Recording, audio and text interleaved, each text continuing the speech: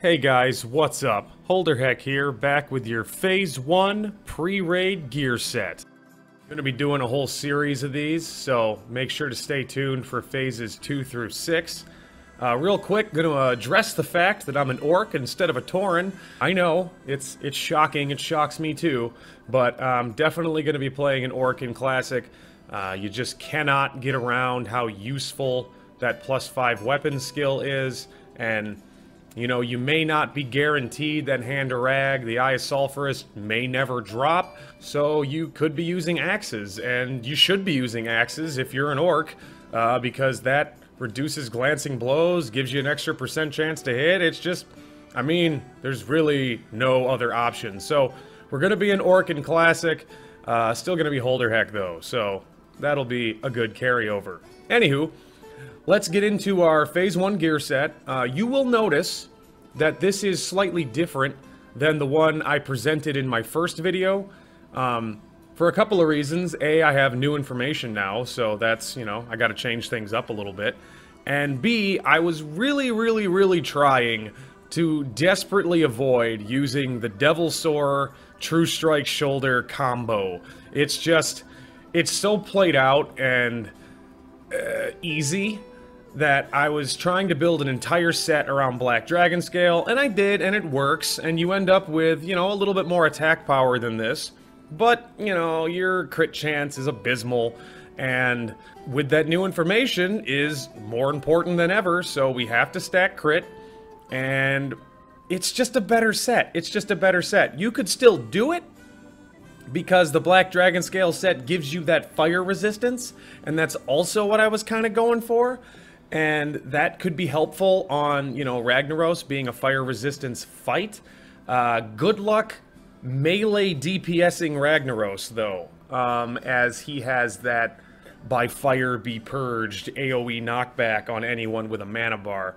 Uh, could do it theoretically if you just stood really, really far away from anyone else, but I think it would just be a pain in the ass, and you should probably just heal on Ragnaros. Anywho, let's get into the gear. Oh, this is what it looks like. Isn't that pretty? I think so. Let's turn that off so you can actually read stuff. Okay, let's get into your pieces for Phase 1. Uh, the first thing we're going to go over is your headgear. Uh, Eye of Rend, absolute best in slot. There is nothing that can replace the Eye of Rend. Well, that's a lie. There's a couple things that can replace the Eye of Rend, but you don't want them because this is best in slot. That's how best in slot works. Um, yeah, 2% crit, 26 attack power. Like, it's great. It's just really great.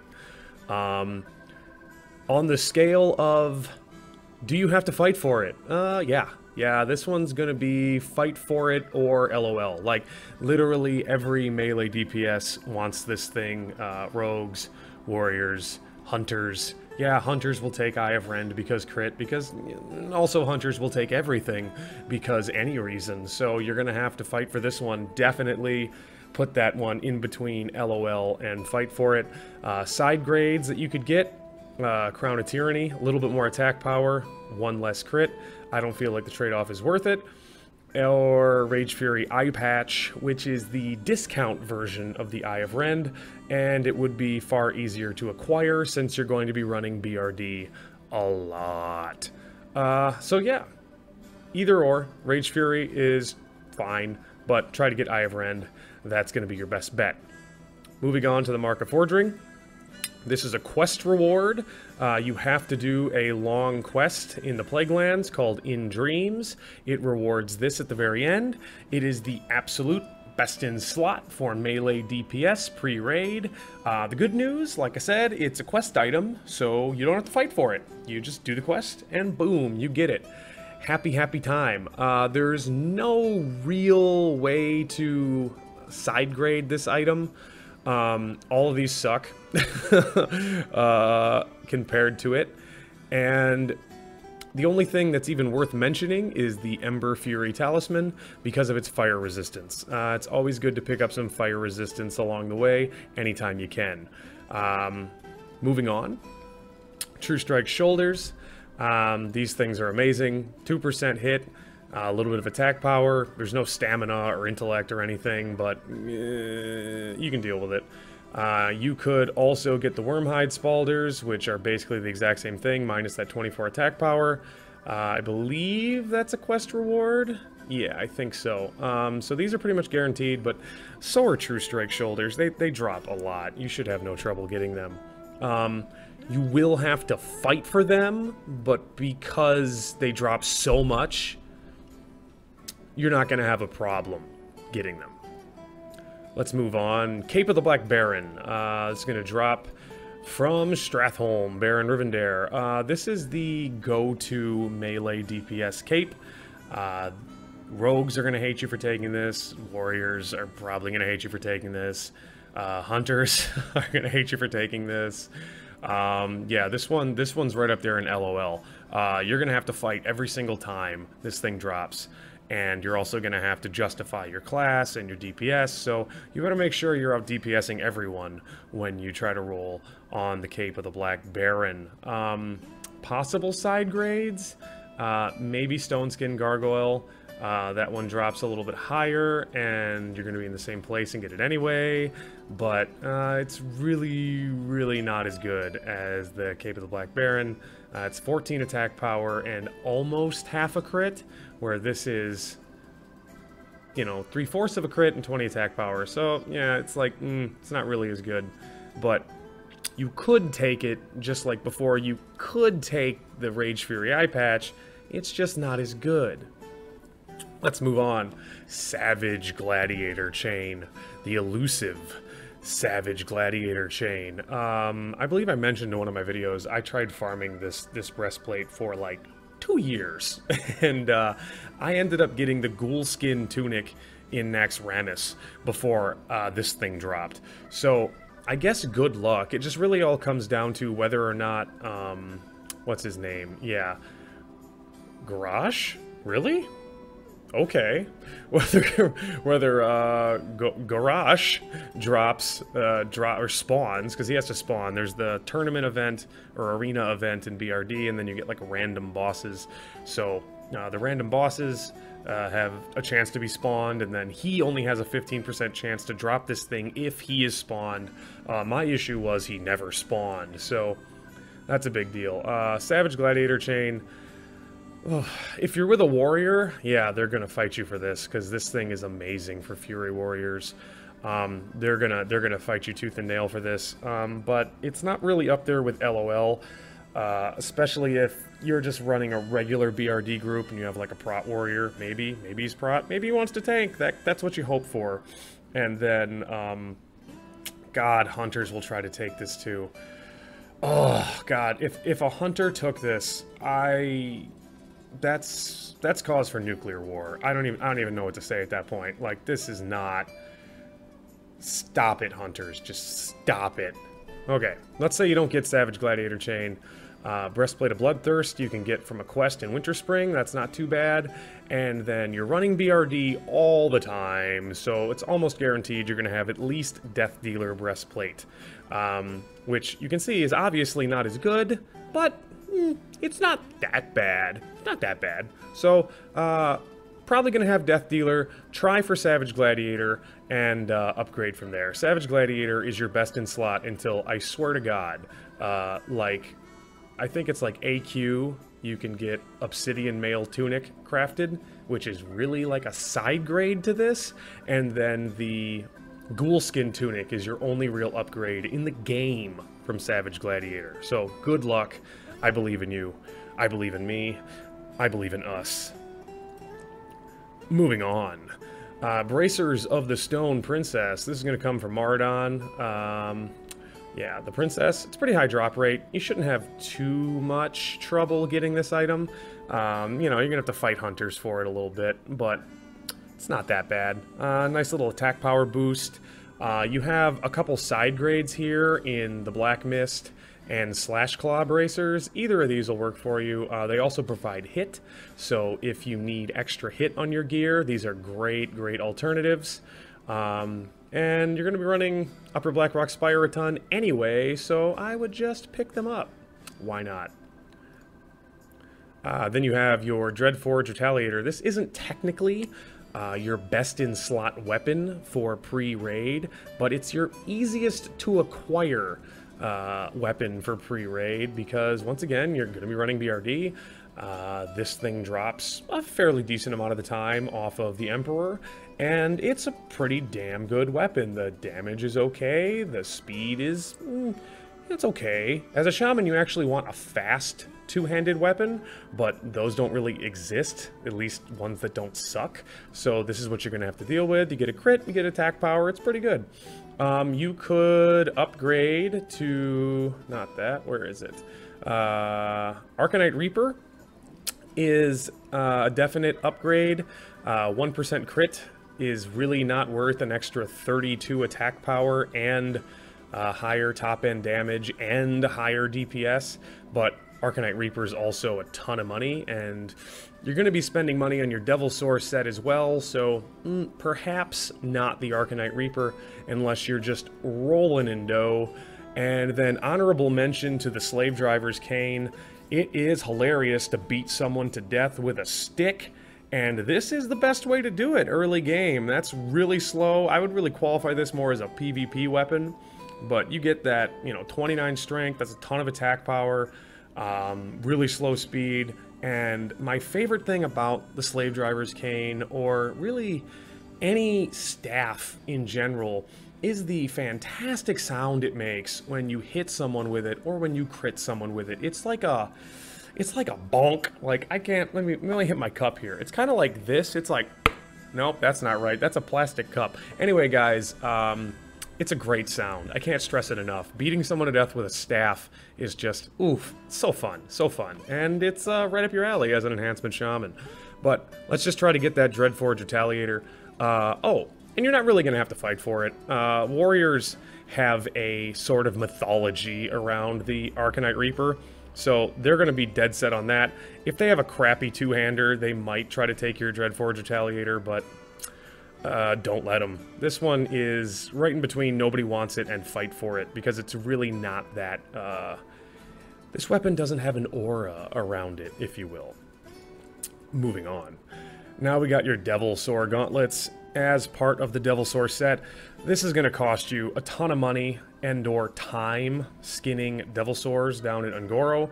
Uh, these two items I'm just going to talk about together, the, the gloves and the pants together it's it's just amazing. Like these stats this early on are just absolutely incredible. Uh, two crit, two hit. What is this? Like so much attack power. Um, you just can't beat them. You just can't beat the Devilsaur set. Uh, figure out a way to get them, whether you buy them, whether you go tribal leatherworking um, and make them yourself and skin the Devilsaurs yourself I mean, I really don't know what else to say about this. Uh, you're not going to have to fight for it necessarily, other than fighting for Devilsaur spawns if you're going to go the make them yourself route. Um, if you're going to buy them, it's going to be a lot of money. A lot of money. I think, like, um, easily epic mount money. There are other things you could get. Um, they're not going to be equivalent, though. Um, you could switch the gloves themselves for the quest reward, uh, Voone's Vice Grips. That'll give you the 2% hit, which you already see. Look at how awful your stats become. And then you could switch these, uh, maybe? Leggards of the Chromatic Defiler. Uh, this is a quest that takes place in Winterspring. It involves, you know, a lot of materials, but nothing super crazy.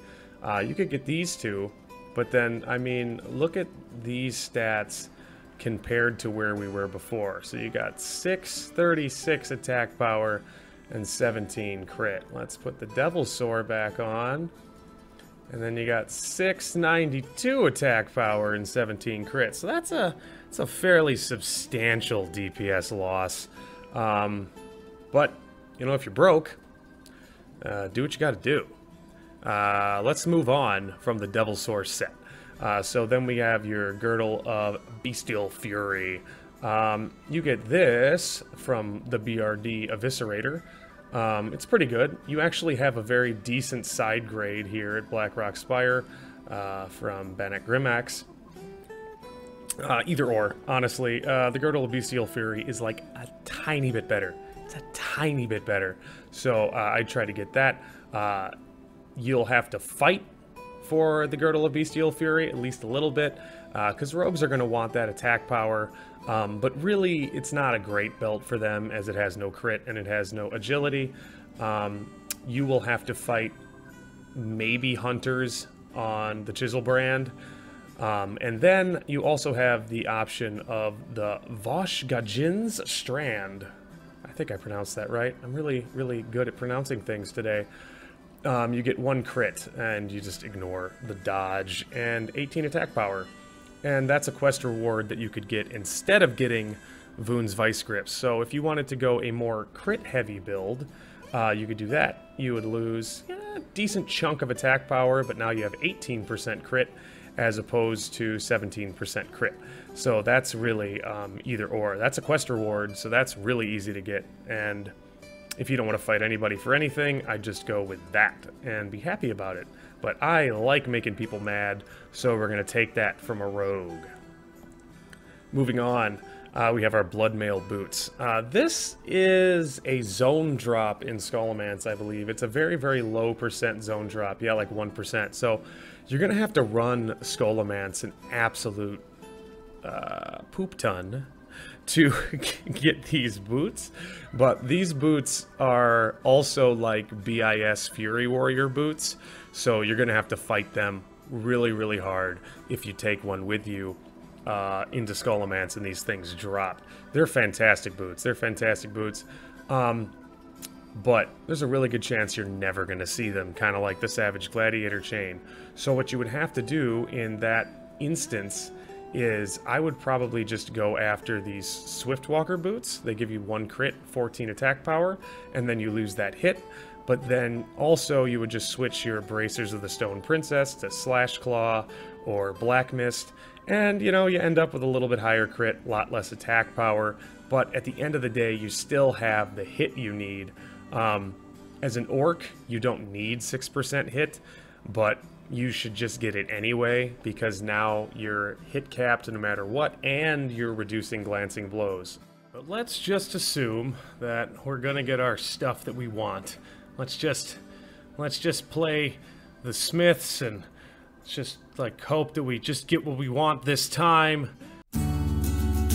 Good times for a change redoing it, guys. We're going back to Classic. We're going to make all the wrongs right. That's why we're doing this. That's why I'm doing this. Right? Anyway, we got our rings. Uh, Blackstone ring. It's, uh, yeah, I mean, it's, it's, it's best in slot pre-raid. There's just nothing else. Uh, you need that hit. Um, and the Painweaver Band. I mean, that's like really it, guys. It's Blackstone Ring and Painweaver Band. It's like, uh, if you got the Myrmidon Signet, eh, it's still, it's still not even as good. so yeah, it's pretty nice. Uh, get the Blackstone Ring off of the Princess. You're going to be farming her for a couple of things. And Painweaver Band off of Drakkisath. He drops that thing all the time. Um, both of these you're probably going to have to fight people for because they are best in slot uh, for everybody. Um, every rogue wants the Blackstone Ring. Every DPS warrior wants the Blackstone Ring. Every rogue and every warrior wants the Painweaver Band. Pain Weaver Band. So yeah, you're just going to have to deal with uh, fighting people for these. Uh, good luck. I believe in you. We can do it. Uh, let's move on. The last two items in our build here. You're going to have the Hand of Justice Ooh-wee, the Hand of Justice. You know, if the Rune of the Guard Captain was Phase 1, we wouldn't have this problem. But for some reason, the Rune of the Guard Captain is a Phase 3 item. And I'll explain that later when we get into our Phase 3 set. But my god, like, it's 20 attack power in one hit. And it's a green, and it's a quest item. But you're telling me that I gotta wait till Phase 3 for that. Okie dokie. Anywho, uh, Hand of Justice, 2% uh, chance on melee hit to gain 1 extra attack and 20 attack power. Uh, this and the Black Hand's Breath are literally like the only melee trinkets in the game for half the game. So, yes, you're going to have to fight literally everyone for the Hand of Justice, and you're going to have to do tons of Emperor runs for the Hands of Justice, because despite it having a 19% drop chance, in my experience, that is not true. Also, I could be ah, misremembering, but I always thought this thing dropped off a of General Angerforge. Maybe they patched that in later on. But yeah, uh, tons of Emperor runs. You're going to have to fight everyone on the planet for Hand of Justice. The good news is Black Hand's Breath is a quest reward, so you're going to have that no matter what. Moving on to the enchants on these items, uh, we should go over how much they cost and really is it worth enchanting these items with this stuff. Uh, the first two things we're going to go over are going to be the Librams uh, Veracity, I believe. I'm sorry. Ooh, it's an Arcanum of Veracity. But yeah, you're going to get these. Uh, it requires a little bit of mats. You got to find a book and pay 30 gold. That's a fairly good chunk of change for early vanilla. But you're to have the Eye of Rend until at least, at least the first time you kill Ragnaros if the Crown of Destruction drops. So you're going to have that for quite a bit of time. And you're going to have your Devilsaur leggings for um, uh, an embarrassingly long time before you replace these things. So yeah, enchanting these two items is no big deal. Um, let's move down here. You'll actually see all the mats required. Uh, you see your Arcanums here, Libram Veracity, uh, just you can click that quest when I link these items and it'll tell you exactly how to do it. It's not very complicated, it's just kind of expensive. Uh, creating your Devilsaur set is going to be a huge chunk of change. Ignore this approximate cost. That's like its vendor value. Like there's, uh, it's way more expensive than that if you're buying these materials off the auction house. The only other enchants on here really worth mentioning would be Crusader, early game that might not drop. It might be really hard to find and also very expensive, so you might have to have a lesser enchant on your weapon. Uh, Crusader is the way to go. If you can get Crusader on your weapon, get it. It's the really only enchant you'll ever use on a weapon. And then moving down here, you're going to see where all of that stuff comes from and its estimated drop rate. Uh, this is pretty good. None of this stuff is super, super hard to come by, except the Bloodmail boots and the Savage Gladiator chain.